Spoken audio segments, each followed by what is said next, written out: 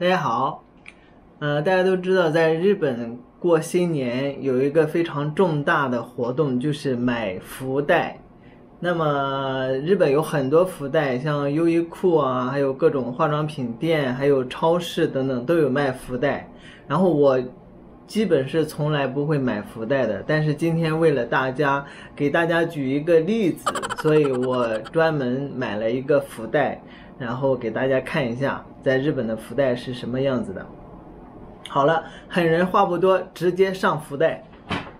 噔噔，这么大一个福袋，一千日元。猜我是在哪买的？七幺幺。呃，七幺幺卖的这个福袋呢，是一千日元，然后里边有一千六百日元价值的东西。然后这个是不能看的，里边的内容是看不到的。那有一些呃服装啊，或者是名牌品店的福袋呢，它会写清楚里边有什么样的内容，或者是衣服的呃那个 size。这个七幺幺里边就是完全看不到的，只能靠运气，就像赌博一样。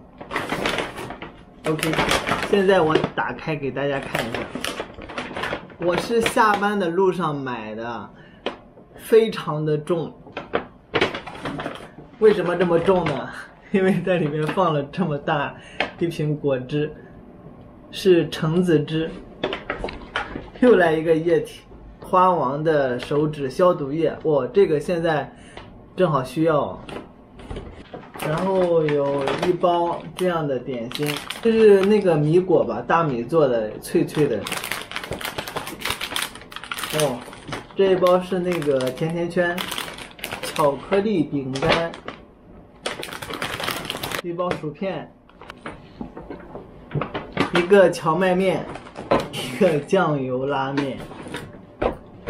OK，全部清空。一二三四五六七八，总共八件商品，然后价值是一千六百日元。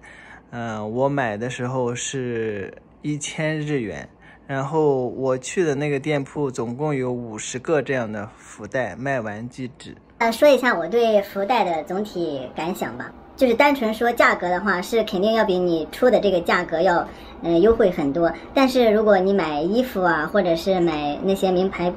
包包或者是化妆品的福袋的话，呃，里边如果有完全不需要的东西，嗯，对你来说价值就是零。呃，我是从来不买福袋的，今天买也只是主要是为了给大家看一下，而且我买的是七幺幺家的这个福袋，都是一些吃的，呃，这个因为我对吃的没有什么挑剔，能吃都可以啊。七幺幺福袋的开箱视频结束。明年再战。